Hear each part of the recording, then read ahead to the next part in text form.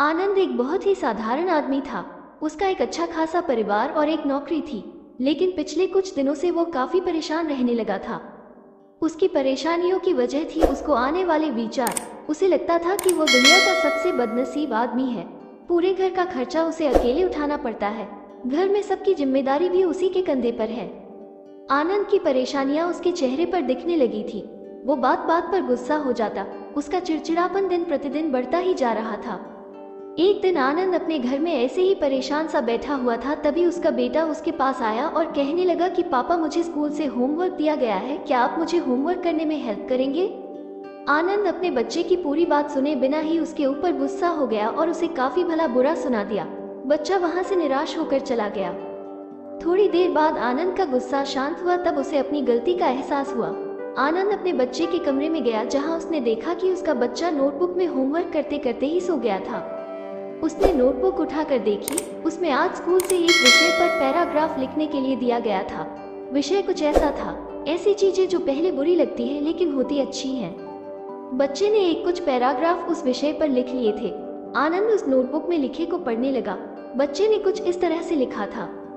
मैं उन परीक्षाओं का धन्यवाद करना चाहूँगा जो पहले मुझे बहुत बुरी लगती थी, लेकिन बाद में मुझे समझ आया, उसके बाद ही वेकेशन आता है। मुझे बीमारी में खाई जाने वाली सभी कड़वी दवाइयों से नफरत थी, लेकिन बाद में मैं समझ पाया कि उन्हीं दवाओं की वजह से मैं स्वस्थ हो पाता था और बाकी सभी चीज़ों का मज़ा ले पाता था।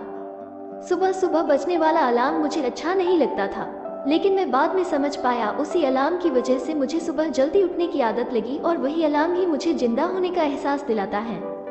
पहले मुझे मेरे पापा की डांट अच्छी नहीं लगती, लेकिन अब मैं समझ पाया हूँ, उनकी डांट की वजह से ही मैं सही रास्ते पर बना रहता हूँ और अच्छे भविष्य की तरफ़ आगे बढ़ता हूँ। इन सभी चीज़ों के लिए और खासकर मेरे पापा के लिए मैं भगवान को धन्यवाद देना चाहूँगा, क्योंकि मुझे डांटने के लिए मेरे पापा तो है, मेरे दोस्त के पास तो पापा ही नहीं है। मेरे पापा ही मेरी सारी जरूरतें पूरी करते हैं। कभी कभार डांटते भी है तो मेरे भले के लिए। अपने बेटे के विचार उस नोटबुक पर पढ़कर आनंद गहरी सोच में पड़ गया। बेटे के लिखे हुए विचार उसके दिमाग में घूमने लगे। उसे लगा जैसे वो कई दिनों से किसी गहरी नींद में सो रहा था और यह नोटबुक पढ़ने से उसकी नींद खुल गई हो। आनंद ने पेन और नोटबुक ली और अपने विचार लिखना शुरू किए।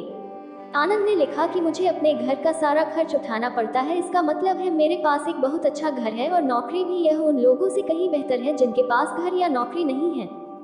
सबकी ज़िम्मेदारी मुझे निभानी पड़ती है। इसका मतलब है मेरे पास अपना एक परिवार है। मतलब मैं उन सभी लोगों से ज़्यादा खुश नसीब हूँ जो अकेले या अनाथ हैं। आनंद ऐसे ही एक के बाद एक अपनी सारी परेशानियाँ लिखता गया और उन परेशानियों का दूसरा पहलू जो कि पूरी तरह पॉजिटिव था। ये सब करने के बाद उसका मन और दिमाग बिल्कुल हल्का हो गया।